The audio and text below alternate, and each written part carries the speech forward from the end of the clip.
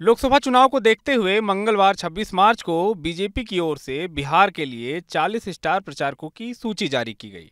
इस लिस्ट में रविशंकर प्रसाद, राजीव प्रताप रूडी जैसे कई नेता गायब दिखे तो वहीं भोजपुरी के चर्चित सुपरस्टार पवन सिंह का भी नाम नहीं दिखा। जब बीजेपी ने प्रत्याशियों की सूची जारी की थी तो पहले पवन सिंह को बंगाल भेज दिया था, और अब स्टार प्रचारकों की लिस्ट जारी हुई तो उसमें नाम भी नहीं है। ऐसा लग रहा है कि पवन सिंह बीजेपी में ही बेगाने हो गए हैं।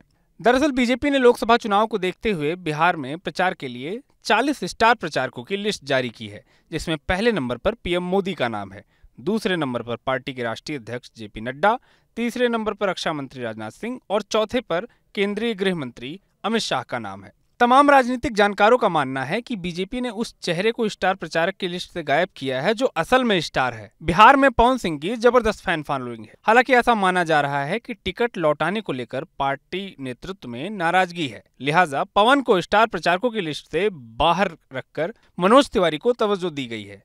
मनोज तिवारी को बिहार में प्रचार के लिए स्टार प्रचारकों की लिस्ट में शामिल किया गया है। भोजपुरी सिनेमा के जिस बैकग्राउंड से पवन सिंह आते हैं, मनोज तिवारी की भी पृष्ठभूमि वही रही है।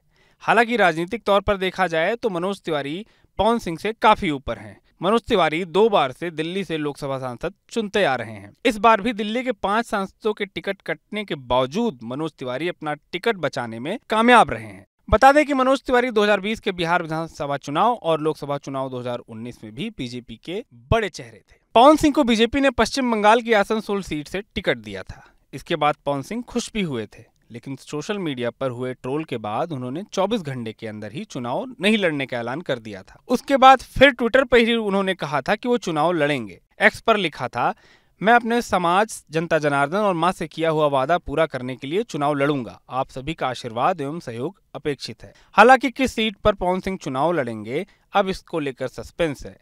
लेकिन बीजेपी की स्टार प्रचारकों की लिस्ट में पवन सिंह का नाम नहीं आने को एक बड़ा झटका माना जा रहा है। steps.